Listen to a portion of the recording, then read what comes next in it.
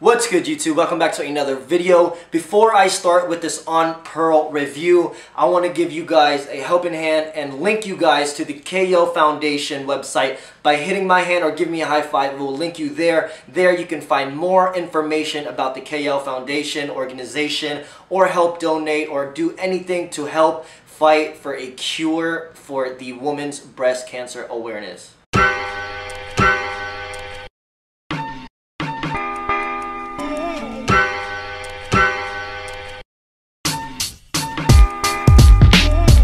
Good YouTube? Welcome back to another video. Today we are back. We are in the honors of Tita Perla. For me, this is one of the most anticipated sneakers of the year for me. I love the whole Aunt Pearl series that KD puts out every year. And if you guys didn't know, a portion of the sneaker does go to the Kay Yow Foundation. So not only am I getting a real dope sneaker, I'm also donating to a good cause. Let's get into this box real quick. This is my first KD7. So this is the KD7 box. You have all these intricate designs, wavy Thunderbolt, KD branding up top, Nike swooshes on your front, 35 as well, your pieces on the back. And let's get into the box details. KD7 Premium, size 8. Official colorway is white, metallic, gold, pink POW, and your premium platinum. Getting these out the box right off the bat, it is just real, real dope. Probably my favorite Aunt Pearl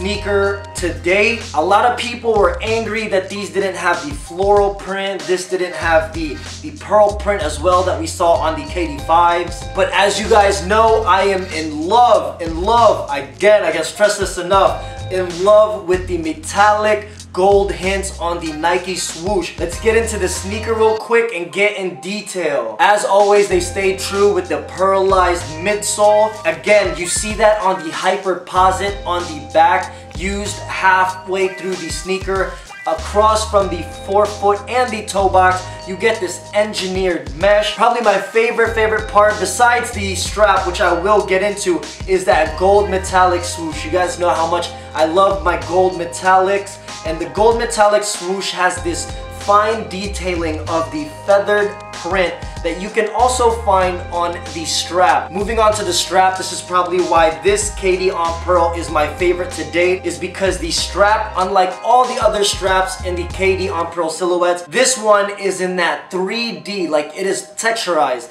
You can definitely feel and it, you can definitely see the feathers from the strap. Real dope. Shout out to Leo Chang. If you guys don't know who Leo Chang is, he is the head designer, lead constructor of the KD silhouettes. I know, man. That's how I do Leo Chang. Leo Chang? You don't know who Leo Chang, do you? Do you know Leo Chang? He doesn't know Leo Chang. Like Kay Yow's.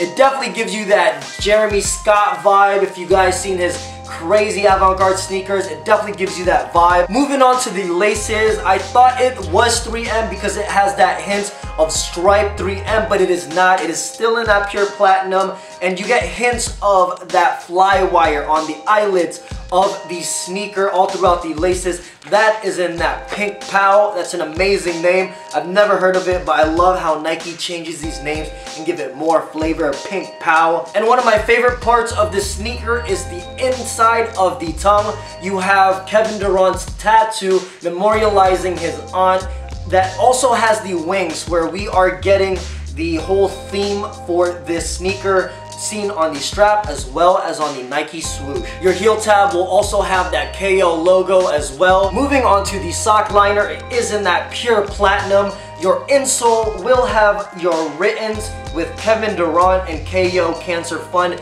in that breast cancer awareness color pink POW. This is honestly the coolest part and the one that we always look for and it is the detailings under the strap. And under this strap it says Kevin Durant and Kay Yow Cancer Fund in memory of Aunt Pearl who inspired us all to continue the fight for a cure. And also it has the four names of Wanda, Barbara, Wayne, Tony and that is basically it for this sneaker. This may not be my favorite Kevin Durant silhouette sneaker but this is definitely my favorite on Aunt Pearl to date. Definitely a lot of dope detailing all around this sneaker. I cannot wait to put these on feet, so let's go.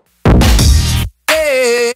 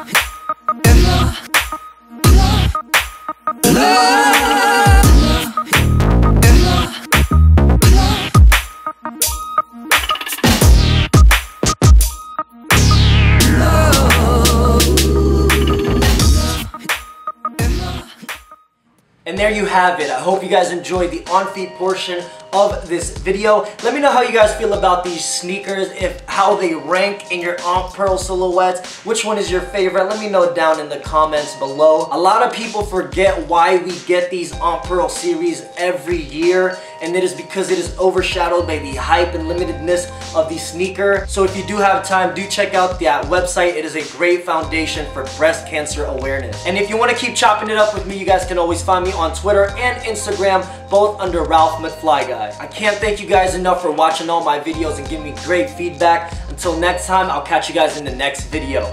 Peace. See, I'm a Filipino kid who grew up with the Hispanics, hung around the block, started talking with the accent. My shirt got